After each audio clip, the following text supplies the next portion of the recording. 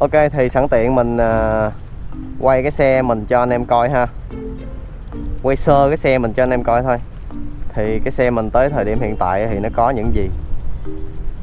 Thay đổi những gì? Thì ờ, cái chữ lực ISS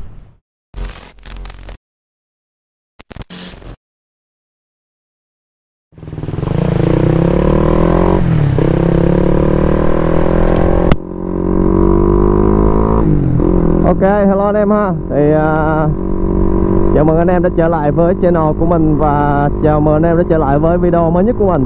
Thì uh, Thì bây giờ là mình đang đi qua bên uh, Sala Khu Sala. Qua bển để mà thay nhất dạo. Hôm trước thì à, sáng nắng chiều mưa Bây giờ là sáng mưa chiều mưa luôn. Bây giờ là đang mưa luôn nè. Rồi bắt mưa luôn rồi. Rồi xong xong luôn. Không có đem áo mưa luôn. Ẩu quá. Chạy đi. Dầm mưa với anh em bữa luôn. Trời lớn luôn. Chết mẹ, mưa lớn luôn rồi.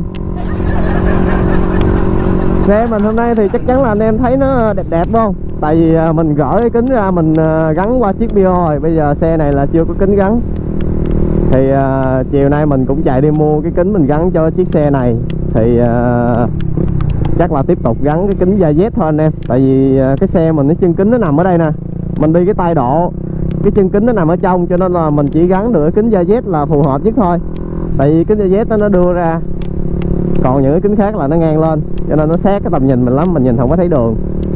Bởi vậy là mình cũng có đặt một uh, cái cặp kính da Z với có kính hậu thì nó giảm một phần nào. Cái rủi ro mà mình bị à, mấy anh đứng phía trước dịnh xe mình lại, tại vì à, từ xa mình chạy tới mà mấy anh thấy mình không có kính hậu thì rất là dễ bắt. Mưa rồi.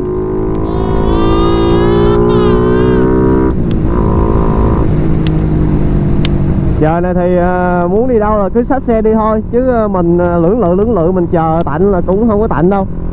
Trời nói chung là ống mưa suốt mà xe mình bây giờ là đang đi cái con EcoZin đó kiểu như là bô xăng gió tại vì mình cho thằng Ben nó mượn cái con Eco RC5 về quê nó chơi rồi. Nó lấy con Eco về quê nó khè mấy đứa em nó dưới quê. Nó cho nổ bách phai anh em.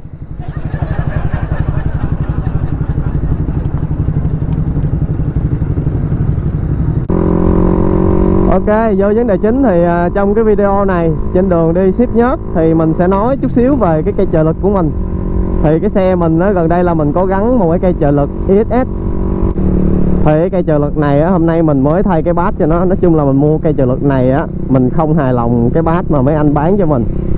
Bình thường là mấy anh bán cho mình cái bát kiểu như là kẹp vô cái ti phục rồi đưa ra nói chung là cũng được đi nhưng mà cái bát đó nó hơi cục đối với cây trợ lực ISS thì lúc đó nó làm cho cây trợ lực mình nó không có nằm ngang tầm. Không có nằm ngang mà nó nghiêng nó hơi nghiêng. Tại vì cái bát nó hơi cục anh em. Cho nên là mình có tìm mua một cái bát trợ lực khác. Nói chung là mình thích cái bát này hơn. Cái bát trợ lực này á, nó là cái bát inox anh em thấy không? Nó là một cái cây inox. Nó bắt vô con ốc này nó đưa ra chứ nó không có kẹp vô cái ti phuộc thì hôm trước là mình bắt cây trợ lực này á mình bắt cái bát nó nằm bên đây. Nhưng mà mình nghĩ là cái bát á, mà nó nằm bên đây thì nó hơi ờ, nó hơi xấu cho nên là mình chuyển cái bát nó nằm qua đây.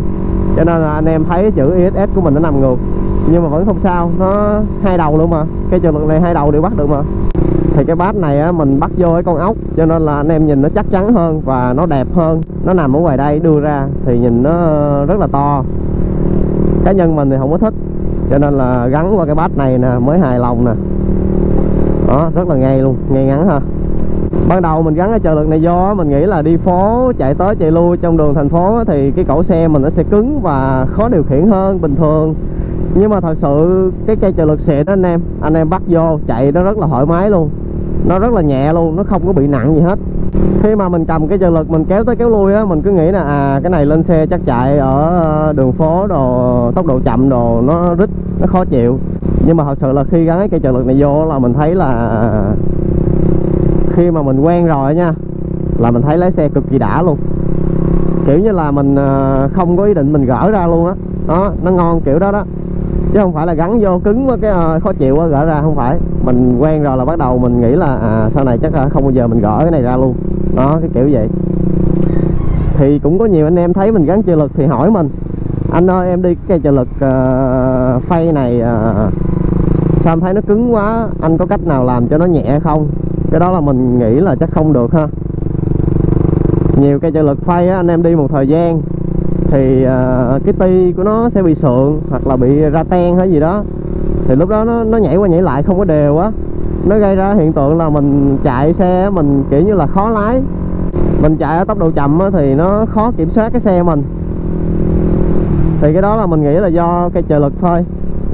Mà hàng chính hãng thì uh, anh em muốn ngon thì mình nên chơi hàng chính hãng ha. Như cái cây XS này á là giá của nó tầm ờ, uh, 3 triệu giá của nó tầm 3 triệu. Trong khi mấy cái cây trợ lực phay á, thì giá của nó chỉ tầm cỡ ờ, uh, 1 triệu thôi. Rồi uh, những cái trợ lực mà xịn á giá của nó lên tới uh, 8 9 triệu thì anh em nghĩ coi. Nếu mà mình có tiền mình thích trợ lực á mình nên chọn cái cây trợ lực nào chính hãng. À, tầm trung thôi mình chơi cũng được. Thì lúc đó nó an toàn hơn.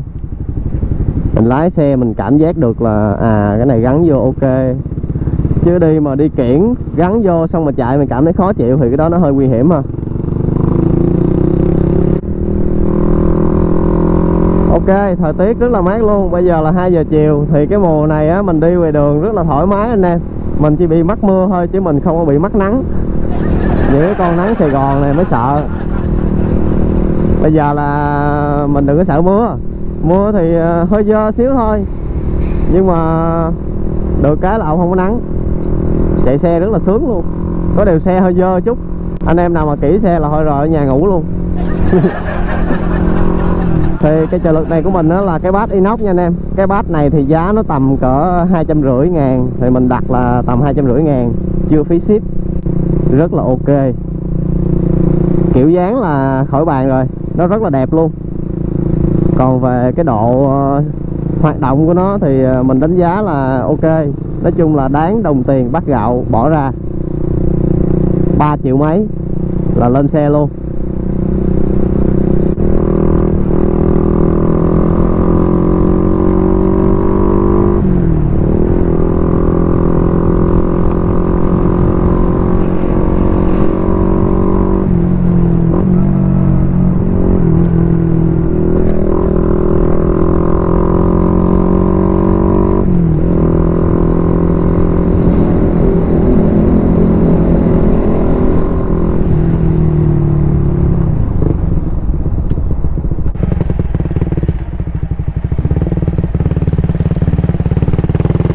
đi ra đây chơi thôi.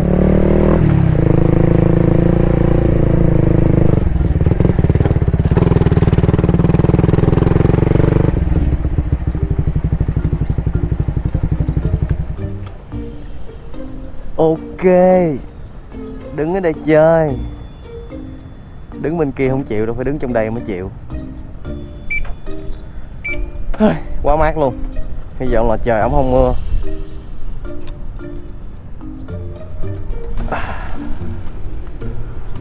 Quá đã. Ở đây thì à, người ta câu cá rất là nhiều luôn. Cái này là cấm tụ tập trên cầu. À mình là mình đứng dưới cầu dưới chân cầu rồi mình không có phạm luật. Đó. Ok thì sẵn tiện mình uh, quay cái xe mình cho anh em coi ha. Quay sơ cái xe mình cho anh em coi thôi. Thì cái xe mình tới thời điểm hiện tại thì nó có những gì? Thay đổi những gì. Thì ờ, cái chữ lực ISS nếu anh em đặt câu hỏi mình đó là có nên lên trợ lực ISS hay không đó, thì mình sẽ trả lời là nếu có tiền thì nên lên. Nếu mà mình có tiền mình có ý định lên trợ lực đó, thì uh, mình nên lên nha anh em. Rất là đầm xe luôn và nhìn rất là ngầu. Ok thì dàn ghi đông mình tới thời điểm hiện tại thì nó dẫn cái tay côn racing boy nè tay dầu racing boy nè.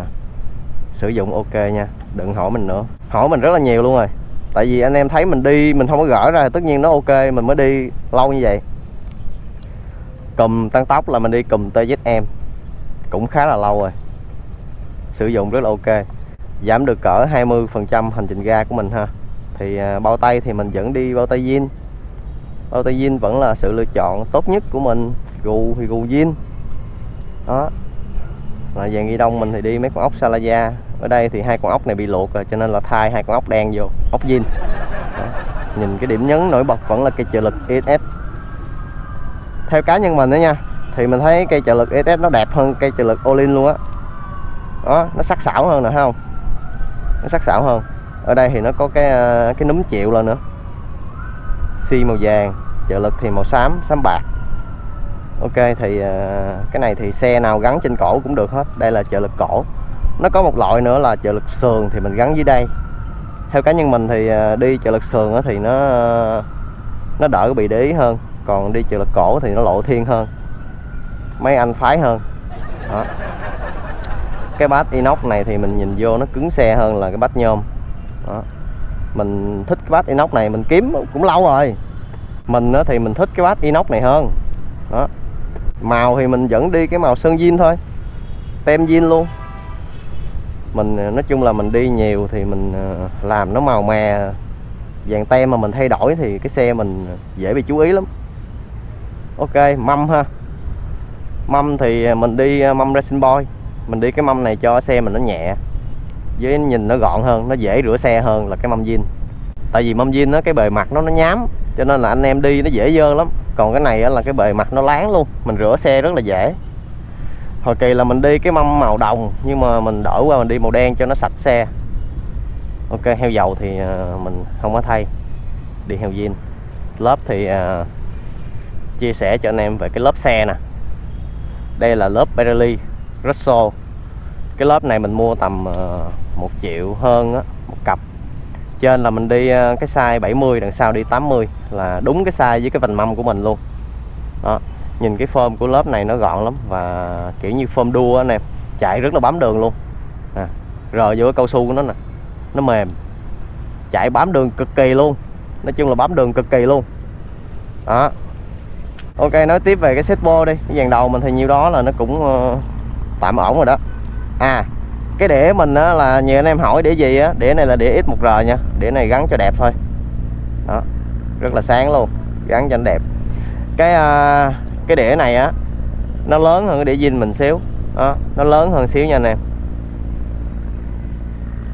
Ok, xuống cái set bo là hôm trước là mình đi cái cổ titan. Cái cổ đó là mình cắt dành cho cái lon CVR á. Cho nên là mình gắn cái bô leo này vô nó hơi cục. Mình thay cổ luôn. Mình thay cái cổ này. Cái cổ này là cổ gì mình không biết. Cái cổ này mình mua giá sale ở trên Shopee là 550 ngàn thì cái cổ này, cái form nó theo mình thấy rất là đẹp, inox tốt, nhìn rất là chắc chắn và rất là đẹp luôn. Đó.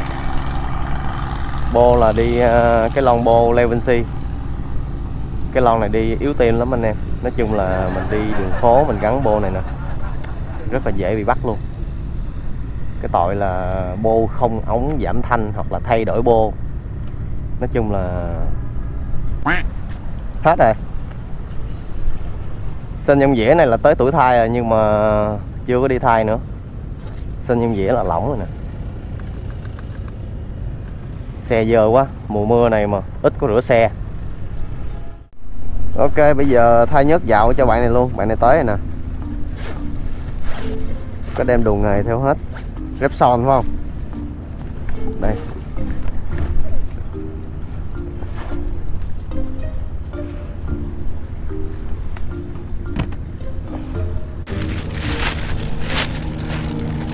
Giờ lại hướng phụ ơi.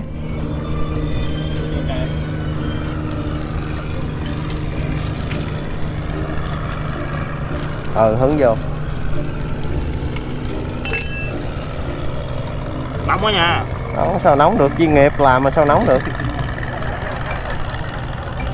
Mình lấy con ốc mà không bị dính nhớt luôn mới hay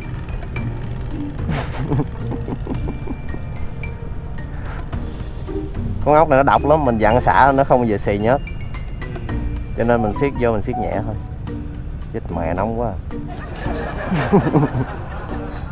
Mốt đi lấy cái tê đó lấy cái ok. tê á, nó dễ hơn. Không mình thay bằng cái chìa khóa không à cái dòng. Cái này à, mình muốn mát á mình đi đừng đi nhớt. Mình xả ra dặn ốc cứng mình ra lấy nước sông Sài Gòn mình đổ vô muốn mát. Chạy bao mát luôn á ông ở đâu lận em ở quận 8 á. Quận 8 xa ha. À, mà đi qua đây thì gần. Đúng rồi đi Ừ, qua bên đây thì gần. dù quá.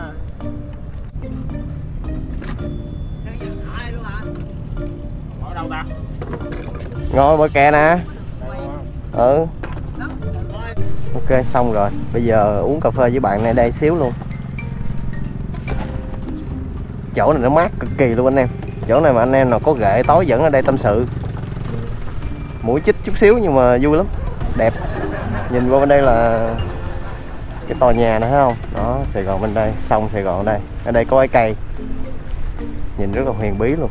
Lịch sử cây này là gì thì à, có dịp mình à, tìm hiểu rồi mình kể cho anh em nghe.